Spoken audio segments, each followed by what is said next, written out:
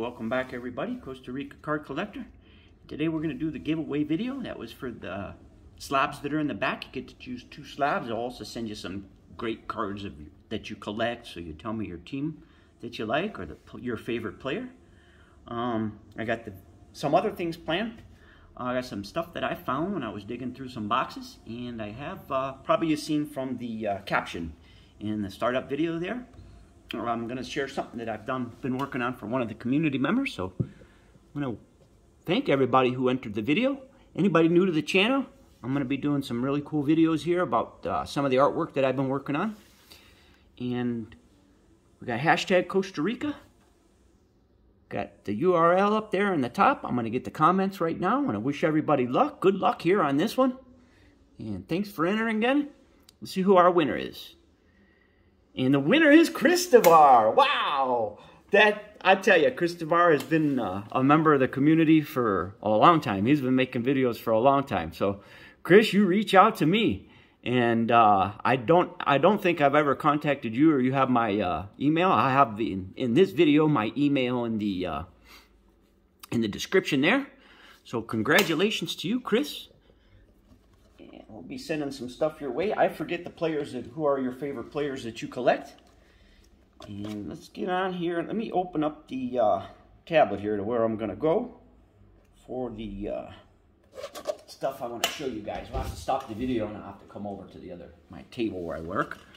And so, Chris, we got the uh, slabs here in the background. I know you're a baseball guy, so you'll probably take the Acuna and probably the Jarred Kelenic, but I know, hey, there's some nice basketball cards, and I got a cool football card up there. So um, you get to pick any one of those. We'll leave those up in the background.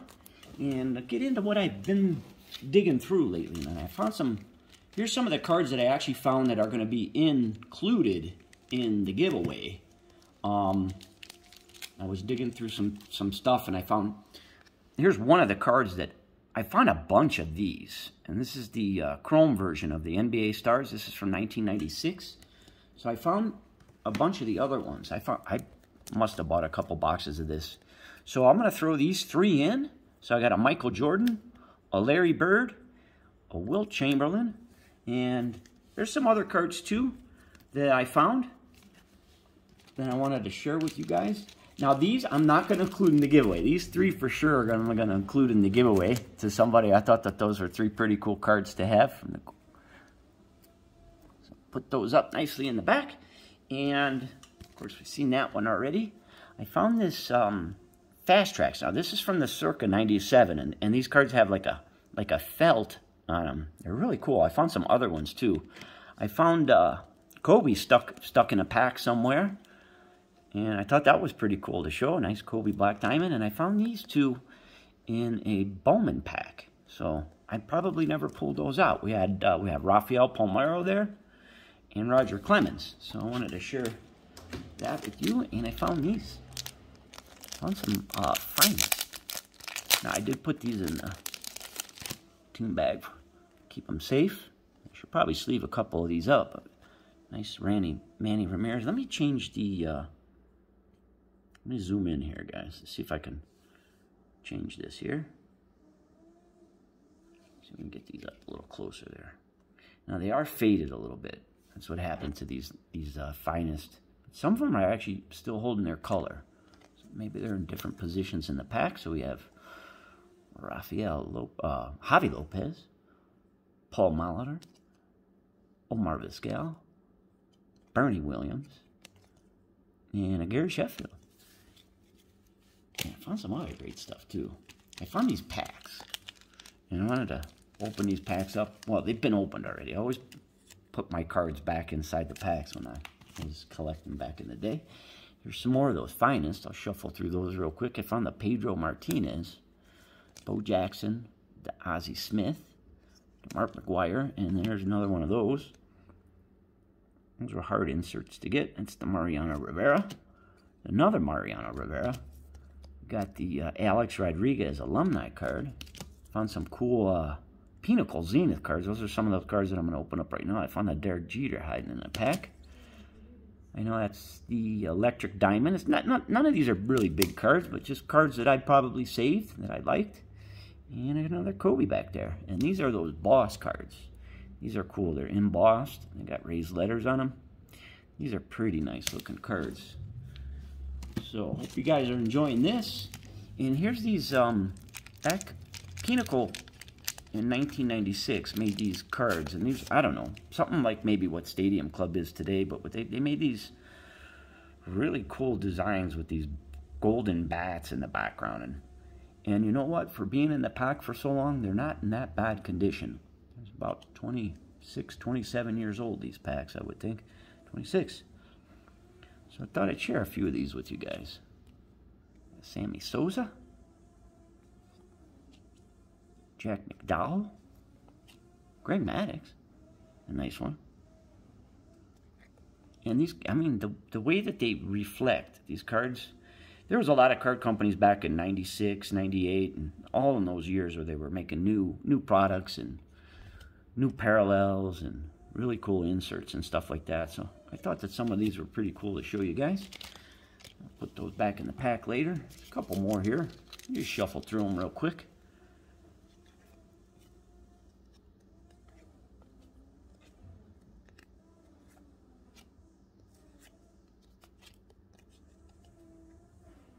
just some really cool looking cards. I also found this, um, I don't know if you guys ever did this before too, is you put your cards back in the packs. And it was pretty cool. I got that from the Baseball Card Emporium for $5.95. Brilliant uncirculated. So there was some really good stuff that you can get back back in here. So I'm sure that everything, I pulled everything out of these. But I thought, you know, there's just some cool cards You could see how the cards evolved to today and how they use some of the designs from they used before. Um, and cards that they're making today. So, all right, guys, I'm going to put the video on pause. I'm going to bring you over to my drawing table where I do my work and uh, show you the next thing that I've been working on. I'll be right back. All right, welcome back. So, uh, here's what I've been working on, and, and it took a little while to get the camera set up so I could. I'm going to try to show you guys a couple other things too here. So here I, I was working, I've been working on a Ken Griffey Jr. here for, for somebody in the community. And go down and let's zoom in on the face here. You can see I got a little bit of detailing still that I'm going to work on, but I got the, I think I got the eyes where I want them to, and got some of the reflections down on the on the helmets. And go back here show you some of the other layers that I have worked, worked in here. So what we have is up here on the top, I did this really cool swash. Now, I thought to lay that layer over the top, there's different layers. Now, you could see when I was working down here, I have um, all these different layers. I had the moon layer. Um, I did the uh, logo on the hat separate. Uh, I don't know. I work. I work kind of in a different way. So I got uh, the 24 down here on a separate line. Uh, Ken Griffey, Ken Griffey Jr.'s on a separate line. I do. I work like in how you'd say in different layers and build up different layers. But I thought that this one was really cool. Uh, this is for Tommy's Breaks. Um, and I also didn't have time and I wanted to show you guys um, I did the back. I wanted to make this into like a card, so I had like cards to show, um, like little you know trading cards, and I put you know Ken Griffey Jr. Moonshot number one on the back, Tom's custom cards, or I don't know if I'll include that stuff in in there, but I wanted to have one printed up and show you guys, and I was actually going to send some away with the giveaway to the to the winner. So I don't know if I have time to actually do those, but I thought that was something cool. I wanted to share with the uh, community and one of the things that I really like doing is when I do these, and, and, probably if you ever caught one of my other videos, you know, see if I can get in here and show you guys this. When I'm doing the um, the little lines on the, uh, and you can see it's it's not like tight everywhere. I use a, a blender brush up here at the top. It's this one. And I mean, you can add, we can add another layer on there and we could do it that way. But what, what I like to do is you can see some of these little lines that aren't very smooth is like where I where I touch. Oop, and we're not blending. Hold on a second, guys. Get back on the blender. And I could go in there and I could softly rub out some of those areas that are that are in there. And I don't think my pen is charged up. Give me a second here. Charge her up real quick. Let's go back, make sure I'm on the right screen. And we'll go back here. And you can see I here's lost a little bit of that dark. Over here I lost a little bit of that dark. I can go in and this is how I like to manipulate and, I could spend hours doing this.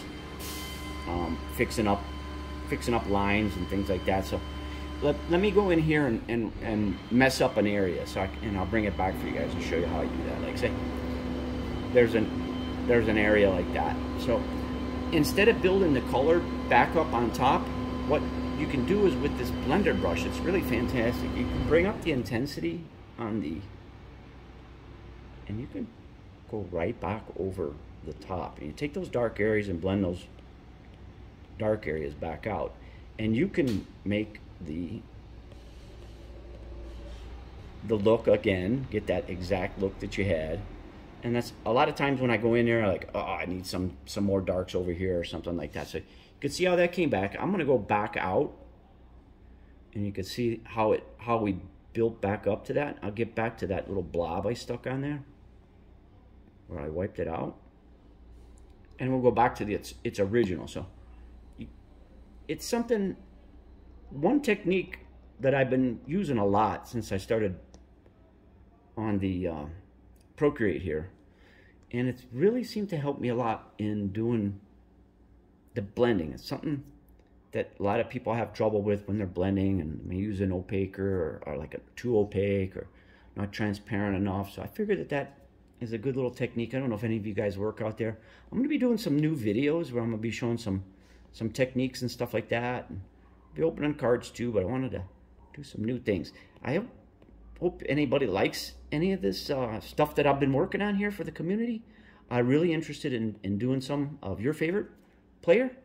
And that's one of the reasons I'm making the videos. I want to reach out to the community and let everybody know that I can help out your favorite collect, you know, all you guys collect. And I know a lot of people don't catch my videos, so I, you guys can share the word and get the word out there. Thomas is doing some uh, really nice stuff. And I thought that was a really cool background. So um, it's called the Orbital series. Sorry for the long video, guys. I hope you enjoyed it. Anybody's interested in getting one of these done for themselves, reach out to me. We can do different backgrounds.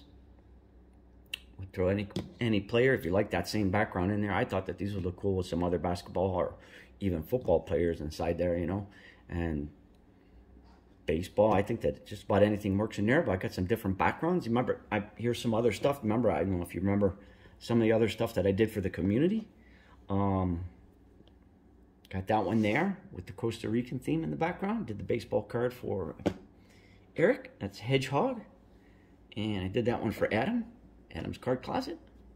I thought that one came out really nice. The Costa Rican background. Got a bunch of other ones I did for you guys in the community too. I did that one for uh, Rad and Dad. I did that one. That's Rad's favorite player. Did that one for Filthy's Cards Breaks. That's the Albies and the Acuna. And I really enjoyed doing these. Here's uh, one I did of my son. Um, I always thought that that one was pretty cool. I did the Mark McGwire with the bird on the shoulder. And I did that one for Tommy also. So reach out to me. I'd love to get, and let me show you. Love to do one for you. Here's something new that I'm working on. And I'm not done with it yet, but I actually wanted to show you a little bit here what I've been doing. turn that one off. See how I start the, the drawings out with the the line art. Now, I do build up the line art. Is, it goes to sketch, and then I go over the top of it until I get it refined. Get it refined. I got the guns in there. I got where she's going to be. And then I start going in and I lay in the, the coloring. And he actually, here's a really good example of what I've been doing. So what we have is this layer right here. And I have it on neutral layer. But I've been experimenting with different layers, and that's what I'm going to be showing in some of the videos is if I switch it to multi-layer, you can see it, it kind of darkens up a little bit the photo. But what I did is underneath the multi-layers is I started to build up some of the colors that will go over the top for the eyes. Now, show another example. Let me take that back and put it back to normal layer. And you see that the colors in here that I have down here, that I was working over the top to get it to the finish, they don't show up. Why? Because when you have a multi-layer, a multi-layer, you're actually able to add layers underneath the layer. So let me grab these and put these over the top of the layer, which would be like something like where you're building up the old way. And you can add all these things up over the top. And you can start to see the different effects that come in. So let's take that back. Let's go all the way back. It's the extended part of the video here. We're going to leave it on multi-layer, right? You see where it changed the color, right? Don't worry. I can go back to one of my layers that I already had. And I'm to I'm to grab just plain white and bring plain white and I'm to drop it into an area. And I could bring the color back that I had over there. So that's how I build up and build up. And if I darken something too much, it could come back. There's all different ways to do this. Now, what I did want to show you is one of the great things that I do, that I learned on here. Let me bring that back to normal manually. Let me go. Now, this is on one layer that's underneath my drawing layer, which I set as my reference layer. So what I can do is I can take my eraser up here at the top, and I'm going to go ahead and I'm going to erase away part of her. Why did I do that? Because I'm going to show you guys how I bring it back and how I do the shadings and stuff like that. So uh, one of the great things with uh, Procreate is you can just hold down and get the color that you are using. I have it set to airbrush. Picked up my airbrush over here, my soft airbrush, and what and this is to look a little crude because I'm holding the tablet and not trying to knock over the um, camera at the same time. So I'm to build up some of these layers that we have for the skin tones. And I'm to keep holding down and getting those lights built back up in there.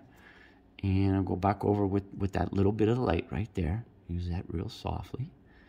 And I'm going to get that medium tone again. Bring up that medium tone up here. Come back around Let's get our dark tone.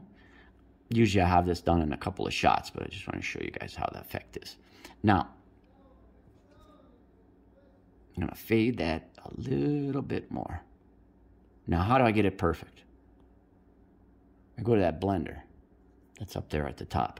I use that same technique that I showed you earlier, and I'll use the blender to blend these areas a little smoother. Like give it some form, here. We're going to make our hip show up a little bit higher up here in this area. So that's the idea there. Now you see this big overlap over here.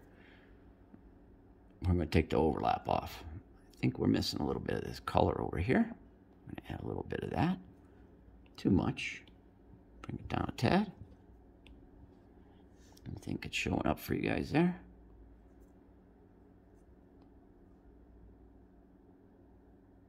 And back to our eraser and I can erase really close to the line there. Let me bring down the size of it and go and clean up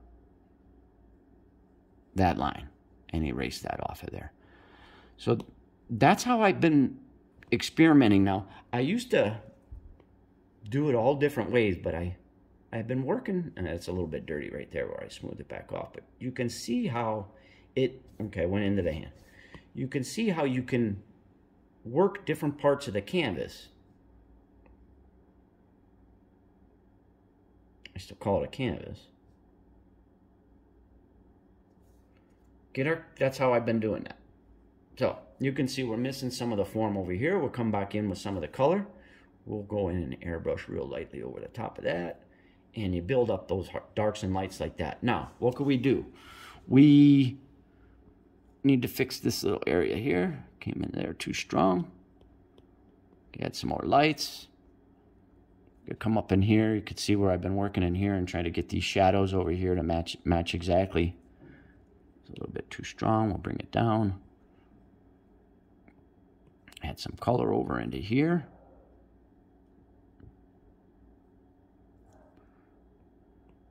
If anybody's in the in the community that's interested in learning some of the techniques or something like that, keep keep keep an eye on some of my next videos here coming up. And uh, got some new things planned. Show you guys what I've been working on. You can see how, yeah, I mean, you could sit here for days and, and I'm going to go in and start working the hair and you can see here, let me take that away and take away my underlays there. And you can see here, I've been going in and start, I'm getting started on, on doing her face. Um, the body, I actually worked a little overlay over the top of the body where you can see the color for the suit that I've been starting to lay in. So this um, is going to be Cyber Cat. She's going to have a cat mask, and she may even have some ears and stuff up in there. So I'm going to be working on this one. I'll be doing some videos along the way and show you guys. I'll probably have like a, a time-lapse video of me show, showing me doing the whole process or parts of the process until the finish. Take care, guys. Pura Vida from Costa Rica. Congratulations, Christopher, for the win. Reach out to me. I'll put my email in this video. Sorry for the long video, guys, but I wanted to share some great stuff with you. And take care. If anybody, remember, if you like somebody likes this, I I want to do these for the community, so please reach out to me. I want to make your uh, your favorite player and do it on a nice thing. Now, these are how you say digital so they get sent to you in a digital format. You can print these on t-shirts, business cards, posters, cups, I mean anything. This there's no limit to this. You can put it on like a baseball card or anything like that. You can even have it personalized. You can send me a picture of yourself. I can impose the picture of you inside the baseball card with some pretty cool background. And it's it's like a one-on-one. It's something that's painted by me, by hand. And I take quite a bit of time on, on, on these. So um, just for instance, let me go up and, and take a look here. And look at the Griffey here. And I can go to the canvas. Let's look at the see here, canvas information. It tells me the statistics over here in the corner. This one I spent so far 8 hours and 54 minutes doing. Not bad. I'm actually finishing them a little bit faster than I used to finish them before. They used to take upwards about 15 to 20 hours. So this, of course, with the background being a little bit more simpler than the other backgrounds that I've been posing, I'm able to get these done pretty quick. And I'm only charging $100 to the community for these. So please, guys, reach out. I'd love to do one for you. And take care and pura vida. See you on the next one.